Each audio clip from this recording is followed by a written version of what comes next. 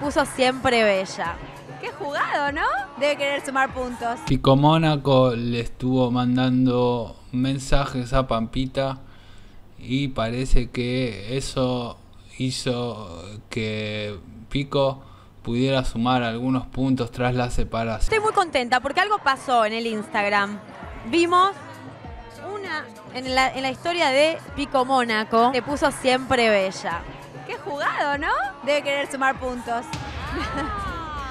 Pará, que había restado cuántos, en cuántos puntos estaba.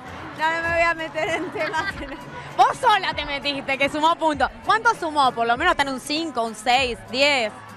Poquitos. Bueno, eh, Pico parece que quiere volver con Pampita, pero las cosas que está haciendo para reconquistarla parece que no son suficientes.